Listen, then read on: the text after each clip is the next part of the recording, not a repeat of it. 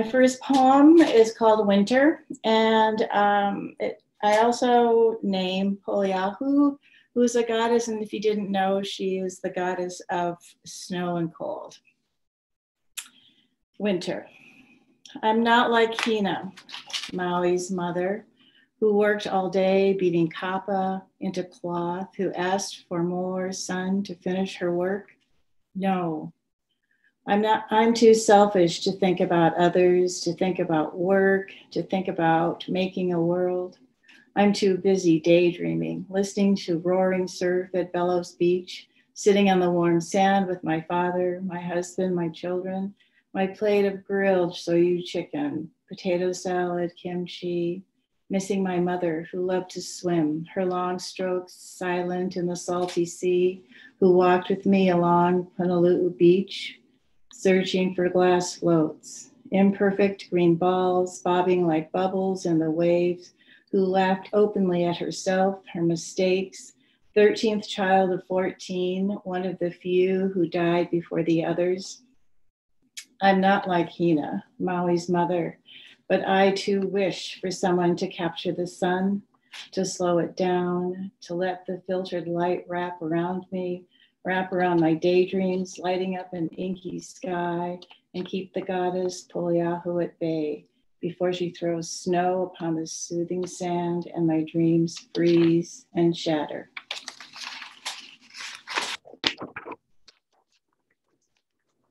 And this is uh, my second poem, and it's called What You Won't Remember. A woman said that when your life comes to an end, it's not your work you're going to remember. The work you chose because your pal convinced you to do it. The work that others said was unskilled women's work, the work that your dad's wife told you was for those who can't, the work that taught you how to observe kids, read body language, the work that helped you understand what kids need to make sense of the world, that your hands on them must be light, like running them over a Ouija board, feeling the energy but not interrupting it. The work that unleashed wonder and spread it around like the balls on the pachinko board, the balls that have a path, though almost imperceptible, yet know they are going and unconsciously we work, seek to find their destination. The work that feels like it's moving in a lighted galaxy among meteors, avoidable and unavoidable. The work that led you back to the beginning when all you did was read books, when all you did was write letters and poems, when time slowed down, when you felt each summer day pass, lying under the rainbow shower tree, watching the blossoms rain down on you, when the trade winds shimmied the branches, when all of your work felt like play. Thank you. Misty, um, let me first say I'm just really happy to be included in this issue and in this institute. This is great. Can you guys hear me fine? Okay. Um, yeah, so uh, the, the piece I have in the issue is, um, it's well, it's a short story, but really it was uh, the first chapter of a novel that I finished actually, but at some point kind of lost faith in. Um, but there was something I still liked about it enough that you know, this, this, this section I think uh, kind of works. Um, you need to know a little bit. I'll just set you up really quickly. Um, I'm only going to read about five pages, but it, you know it's from a 300 page thing. Um, this um, the main character is named Percival. He goes by Val. Um, he was born deaf, and he has cochlear implants, fully implanted cochlear implants, which don't actually exist yet. So we're slightly in the future, in the near future.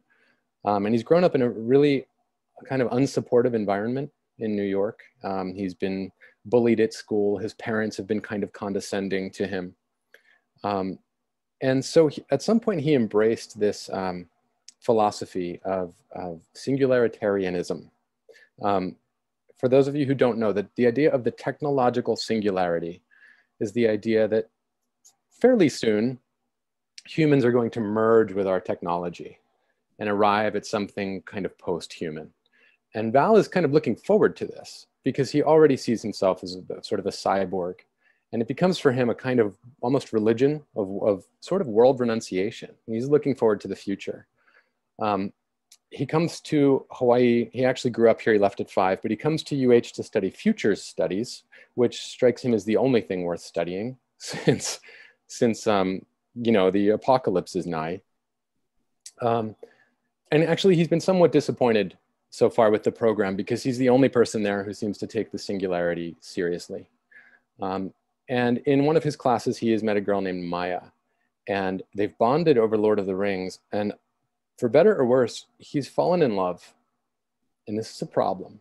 For someone who has thinks he has no interest in a human future, being in love is a problem. So that's what the, the section I'm, I'm going to read is about. Okay.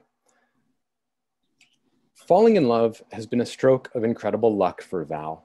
His brain is gushing with beautiful drugs. Never mind that his grades have begun to tank and that he hasn't made a lick of progress in theodicy lately. This is a computer program he's been working on. Maya is clearly the best thing that has ever happened to him. Except that maybe she isn't. Maybe she's the worst thing. The fucked up truth is, Val's not sure. In embracing his humanity, he worries that he might be betraying his transhumanity. After all, none of this is supposed to happen. None of it fits with any obvious extrapolation from the past. No girl ever desired him before, not in this way. He can't begin to understand what Maya sees in him. She is so cute. She isn't normal in the pejorative sense. She loves horror movies, plays electric bass, has enough scars on her legs to attest to her having grown up skating in a skate park. But she does have a generally positive outlook on the future, and singularity accepted, Val can't find any good reason why she shouldn't. Could it be that Harmon is right that the future, the futures rather, really are open and multiple? Val can actually feel his mind dividing against itself. He's so happy that he's miserable, but also he's so happy that he's miserable. He hides the misery from Maya. But she gets glimpses of it when she finds him brooding after sex, when he visibly flinches as he tells her how he's never felt these feelings before, and when, one muggy afternoon, he shakes off her hand on the front steps of Hamilton Library. What the fuck, she says. That's a future studies professor, he says, pointing his chin toward the tall dude with the soul patch who was posting flyers for some protest or other on the bulletin board beneath the monkey pod tree. So? So he already gives me a hard enough time about the singularity without knowing that I'm in a relationship. It wouldn't help my case. Dr. Payne is the youngest and least clueless member of the future studies faculty. Harmon introduced them in the hall one day and they chatted for a few minutes. Payne was cool, at least by comparison with Harmon. Soul patch aside, he also knew a thing or two about the singularity. Granted, he was skeptical of the hard takeoff or FOOM scenario and wary of AI's conceivable indifference to humanity as it pursued its own evolutionary ends, as if evolution had ends. But he was at least a techno optimist of sorts. In particular, he advocated for arcological cities on the ocean and the exponential growth of spirulina in algae to keep pace with population growth. Val has told Maya all about the singularity, and she has listened non judgmentally. She takes a different stance toward it, however, whatever's going to happen is going to happen, she says. Just be yourself and don't worry about it. There is wisdom in that, to be sure. But Val, for one, doesn't want to be blindsided. Their relationship is still young enough that they don't talk about the future much. But when they eventually do, the singularity is going to be a huge stumbling block. He knows this. Shit, he says under his breath. He saw us. Dr. Payne approaches them. Hello, Val. Out recharging your batteries? They have a running joke, not very funny, about how Val is looking more and more like a cyborg by the day. Payne might be a bit more sensitive if Val told him about his implants, but Val doesn't see any other reason why he should. He hasn't told Maya about them either. Actually, Val says, I was just taking in some last minute memories of human bodies before they become redundant. Payne chuckles. What a waste that would be, he says, turning his attention to Maya and extending a hand.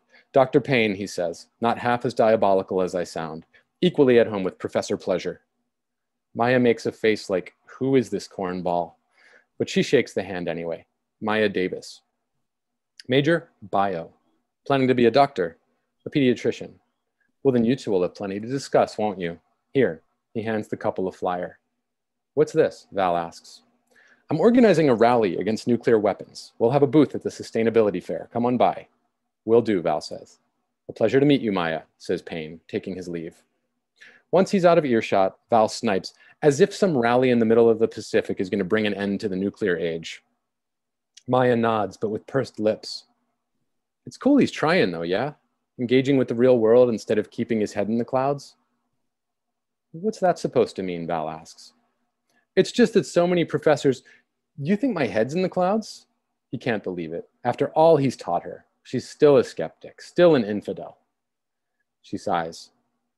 Val, we're having a decent day so far. Can you maybe just take a couple of deep breaths and let this go before you get all worked up again?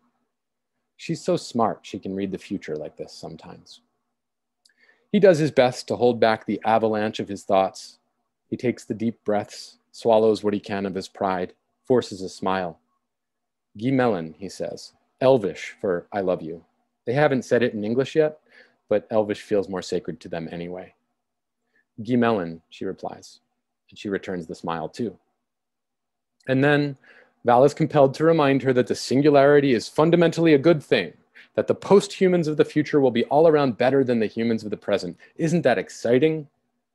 Whatever, she says. Let's go get some coffee. I'm tired. So they go to Paradise Palms, the little cafeteria across from the library, and they drink coffee, which makes Val think about caffeine and its effects on the brain. Then he looks in Maya's eyes and thinks about love and its effects on the brain and wonders if a drug is a drug is a drug. Foom.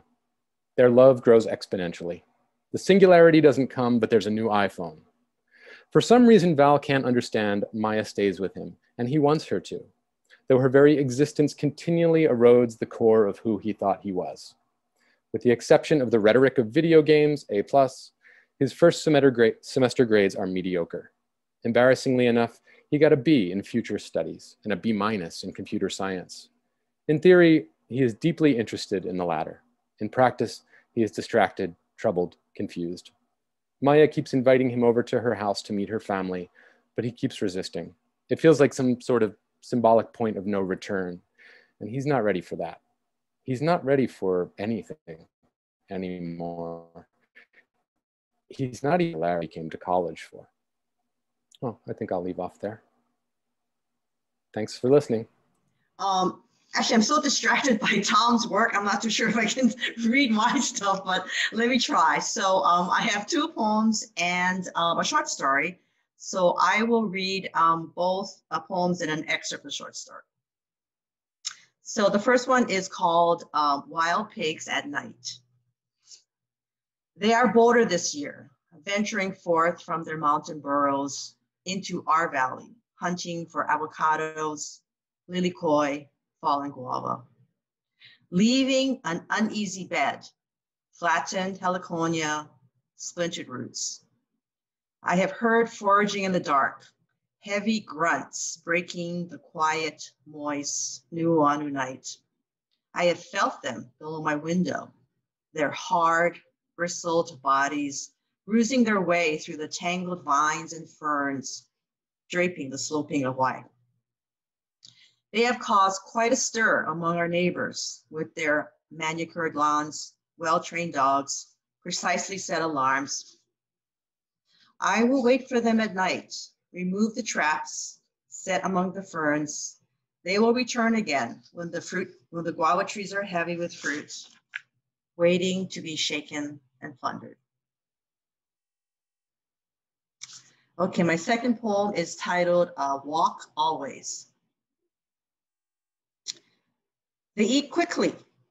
Sticky rice ladled from a worn, dimpled bowl, smeared with condiments, pickled plum, chilies, fermented beans. They sip weak tea from thick mugs lettered with world's greatest grandmother. Hand in hand, they walk always. Booth Road, Laupu, Po'o Valley bus stop. Worshipped by her creations, ribbon leis, knitted beer can hats, unka shishu tigers, fish scale patchwork. She reigns in her greenhouse, plucking slugs with chopsticks, dropping them carefully into empty kimchi jars. She is the savior of her subjects. Dendrobium, Cattleya, ginger. When we return to pay homage, she waves us off with a laugh and treats us to pig's feet Simon. We ignore the cockroaches roaming freely among the silverware. Okay, and the last thing I'm going to read is an excerpt from a short story called Najuma. And um, Najuma is the name of a, um, an African ground hornbill, is a very large black bird with a red throat that escaped from the Honolulu Zoo. This bird encounters two uh, elderly homeless people. They're a couple, Joe and Kai, who um, live in a tent at the foothills of um, Diamond Head.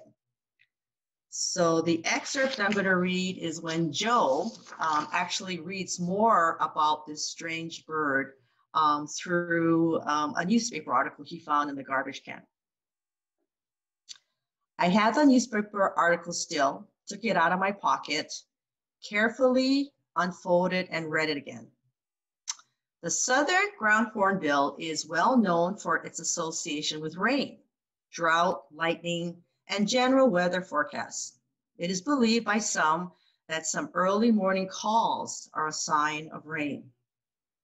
The hornbill has also been associated with the ability to alter human perceptions. Through traditional rituals, the bird can be utilized to improve or change a human's ability to alter reality, create illusions, and expand awareness. In certain cultures, it's been found that the southern ground hornbill is associated with death and unluckiness. The Ndebele believe that an elderly person will die if a southern ground hornbill comes near the home. From then on, I threw leftover meat as far away from our tent as possible. I am not superstitious by nature, but that bird had me thinking. I saw the hornbill almost every other day, especially when I threw out food. I had to forage harder to feed the three of us. Kai grew weaker and ate less, while the hornbill seemed to be eating more of her share. Kai hid her pain, but it was easy to see she was getting weaker. Her bones began to stick out, and her arms looked so frail I was afraid to pick her up. She had a hard time breathing, especially at night. I finally said, Kai, I need to bring you to a doctor. She shook her head and said no as loud as she could.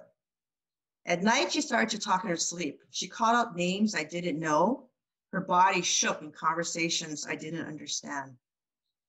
I wrote down the names in case, well, in case I needed to contact someone. It was Saturday, so I hiked down to the farmer's market. It was late morning and crowded. There were Japanese tourists, locals with armfuls of anthuriums for graves, young families eating scones and musubi. I looked into the trash cans and found half-eaten roasted corn and plate lunch with rice omelet. I wandered to the produce stands. One of the vendors recognized me and gave me a bag of bruised papayas. They were soft. Kai would like these. I sat on a curb and scraped the corn kernels from the cob and chewed gingerly.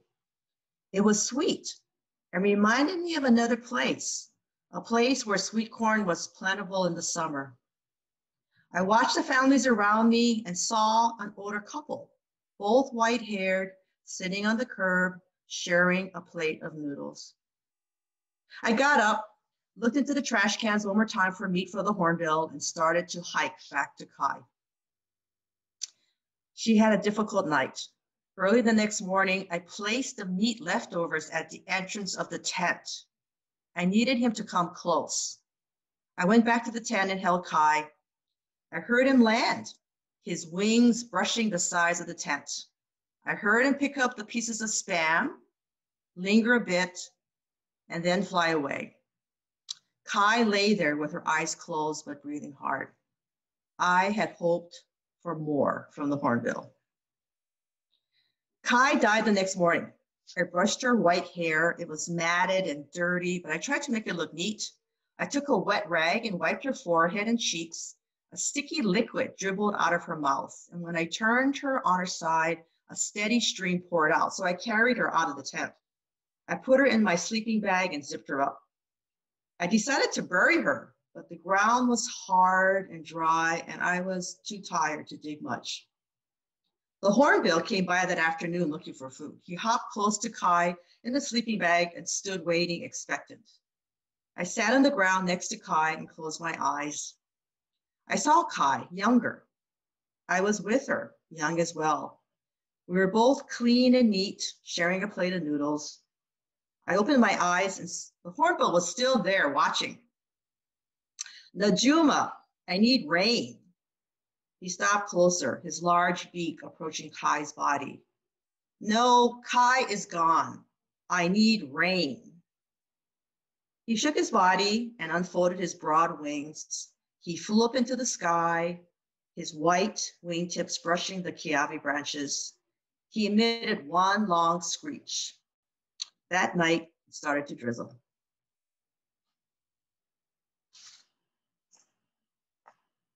The end.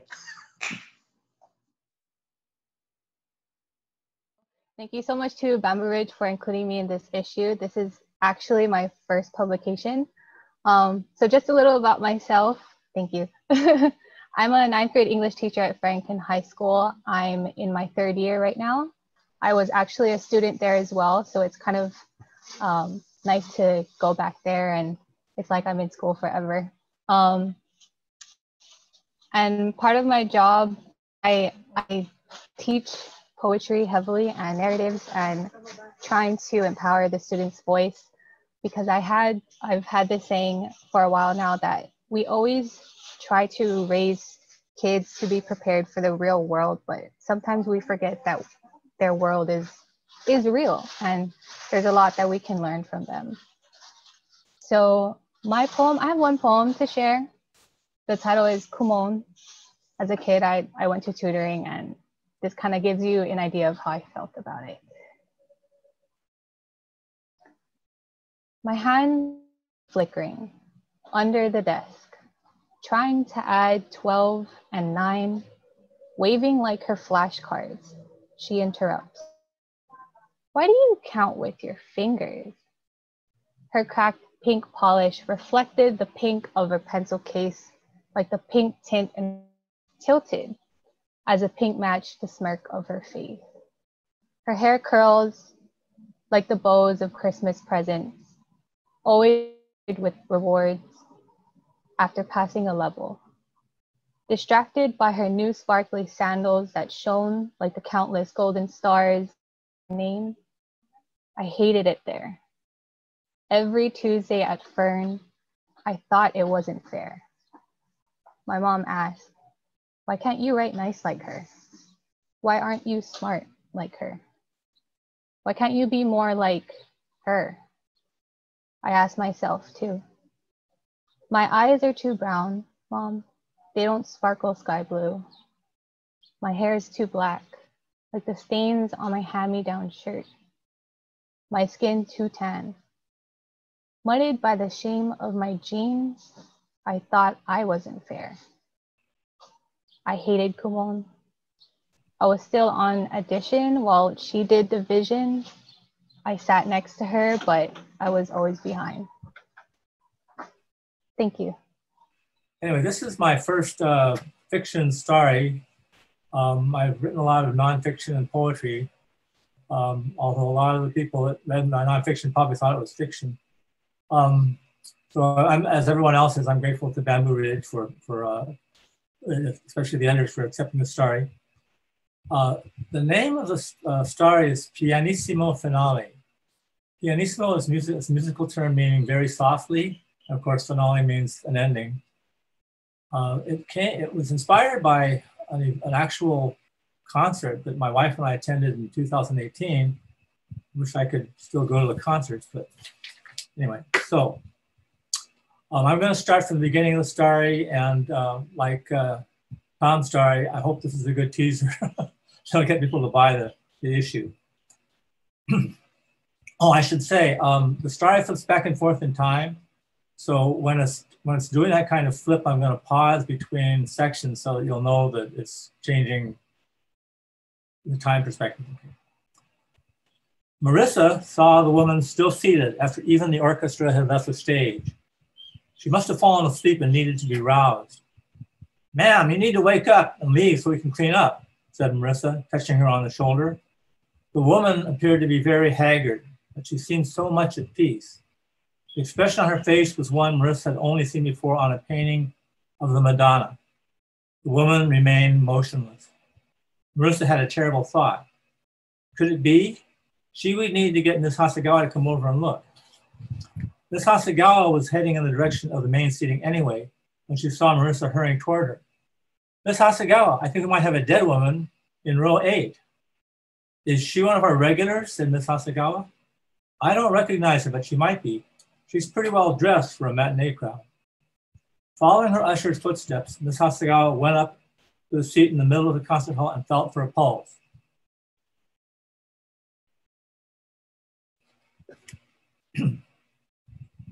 Elise, time for your piano lesson. This is what Elise heard every Wednesday after school, although her mother knew her daughter would never miss a lesson because she enjoyed it too much. She would rather practice her piano than go to school, stay with, play with her friends, or even have a chocolate sundae, which was her favorite dessert. Miss Chung, her piano teacher, was very nice, and she had been teaching her from the very beginning when Elise was only six. She already showed signs of becoming a virtuoso from that age. Ms. Chung soon encouraged her to play some very difficult pieces, such as Chopin etudes and Liszt sonatas. Elise, as Ms. Chung used to like to tell everyone, played with joy and gusto. At the same time, she commented on Elise's weight, suggesting that five fat fingers made for a poor piano playing. Elise did like to eat, but wasn't fat, just pleasantly plump. She ate too many chocolate sundaes. Elise, said her father, Frank, do you know where we got your name? Yes, Daddy, said Elise for the thousandth time. From Beethoven's Bagatelle, Für Elise. And who is your favorite composer? Chopin, said Elise, which was her reply, just to teach her father, just to tease her father, because she knew how much he liked Beethoven, especially his symphonies. The family went to the Honolulu Symphony concerts as often as they could afford to go, but never missed any performance of a Beethoven composition. Elise had come to like Ludwig van Beethoven as much as her father did. She imagined herself on the stage, gown flowing, hair flowing, fingers flowing, to see how it, one, would be one day to be the virtuoso pianist for a Beethoven concerto. She could definitely picture herself playing his first piano concerto in C major. What made it even more fun was that they would go to Zippy's after the concert, and she would feast on hamburgers and her usual chocolate sundae. Often, she and her father would hum several bars of a piece they'd just heard and laugh at the bemused faces of the other customers. Frank loved to sing, and he had a decent voice. He said that his voice was his instrument. Since it was part of his original equipment, he frequently joked that it cost him nothing, unlike Elise's piano, which was a Steinway upright. Once in a while, he would ask Elise to play a popular tune, and he would sing along. Elise loved those moments the best. She would try to sing, but would get embarrassed, and her voice would strangle, and only squeaks would come out. So she gave up singing by the time she was nine, despite encouragement from her father. You could sing duets, Elise.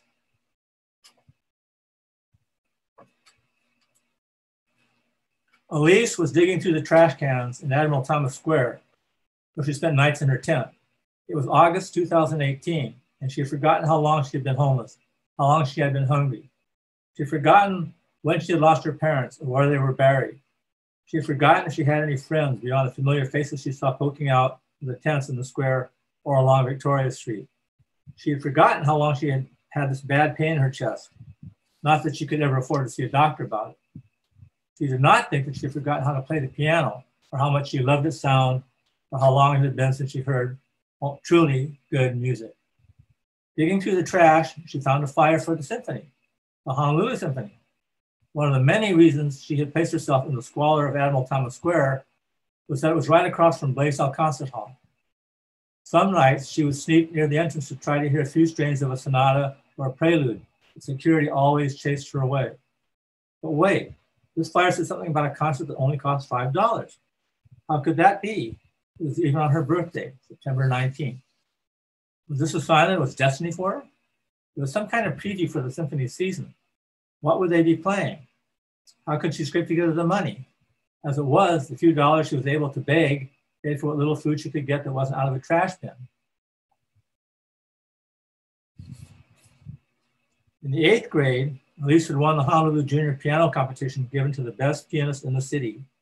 In her first years of high school, she was getting ovations at piano recitals and being asked to play at parties.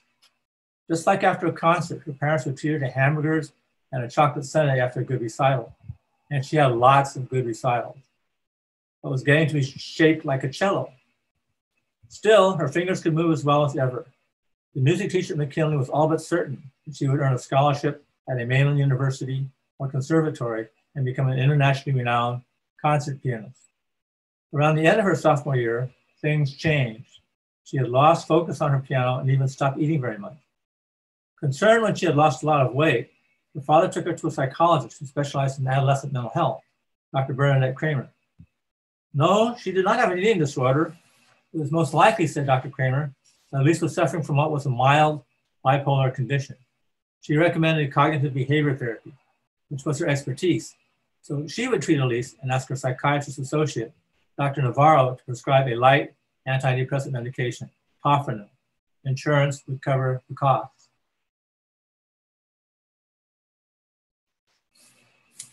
It was not unusual for Elise to be at the edge of some summer festival they would hold at Thomas Square, and she would see little girls walk by enjoying a chocolate sundae. This always threw her into one of her depthless depressions, as it made her think of her father and how he would make her feel so special. What was it that he had told her about her name? And somehow she could get to that symphony presentation. Perhaps she would feel as good as she did in those days. So far, this summer had been no different with all the festivals, especially after they renovated Thomas Square. Elise, Elise hoped that this summer would be different. This summer would end with her attending a concert. How much had she saved so far? She rummaged around in her long shopping cart to see if she could find a single dollar or a quarter or two. She found only three nickels and two pennies. Well, she was not beyond doing what some of her friends did digging trash cans, garbage bags, and even recycle bins to find aluminum cans she could turn for their deposits. The problem was that most of these were the territory of JM or Icarus, two of the more ferocious guys who hung around the square. She didn't dare get them mad at her. She could resort to begging for money, something she had done before, but only when she was starving. Who am I kidding? She thought to herself. Even if she could find the money, how could she go in the hall wearing these rags, smelling like she did? The sheer impossibility of her dream brought on that ineffable sadness that no one can describe, only experience. Me,